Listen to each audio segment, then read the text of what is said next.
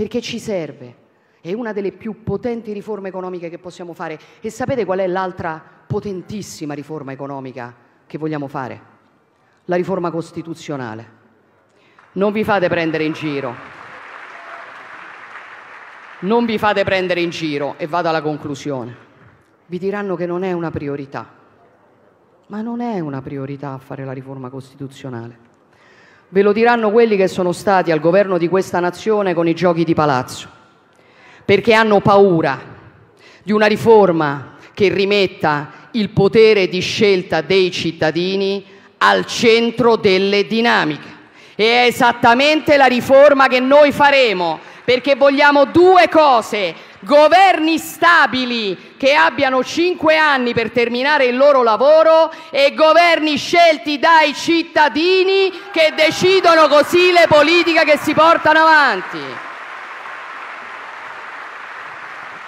E sapete perché è una riforma economicamente importante? Vado alla conclusione. Sapete perché è economicamente importante?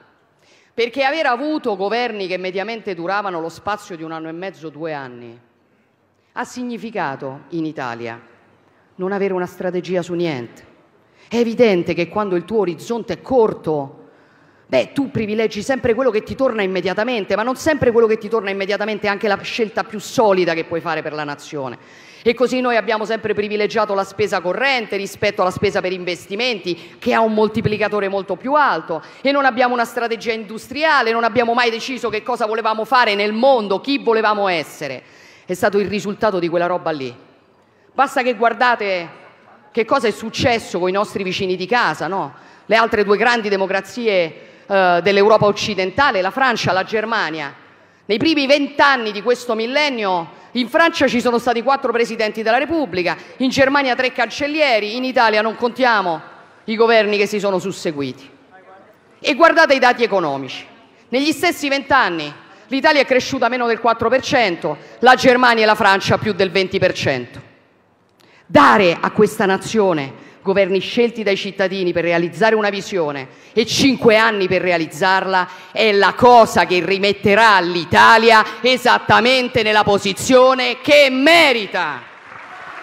E se il Parlamento non vorrà approvare con i numeri che servono una riforma di questo tipo, sarà ai cittadini che lo chiederemo con il referendum.